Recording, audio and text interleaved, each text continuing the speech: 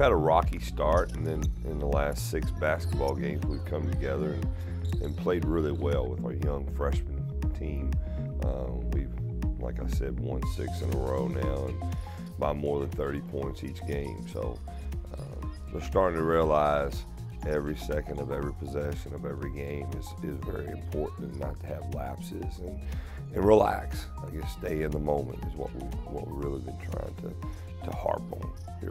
But they've done it and they're very talented. It's just experience right now is, is key and hopefully we're gaining some of that experience. We had to get ourselves, I guess, better a better phrase is smacked in the teeth a little bit right the first of the year, and that's been good. It's been good. Some people don't like to take losses, um, but taking those losses have woke us up, and we're playing a lot better because of. One kid uh, from last year that logged, you know, more than 10 minutes a game. So, and that would be uh, Nana Sule, uh, which is she's played really well for us. She's almost averaging a double double for us right now. So.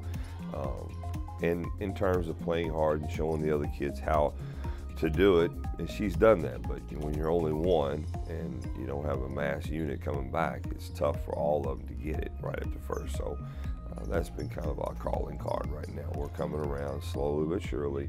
Um, I don't know whether that translates into a lot of wins later on. I have no idea, but uh, it's fun to watch the process and watch them get better.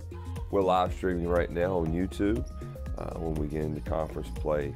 Uh, hopefully everybody watches and they follow. Thank you.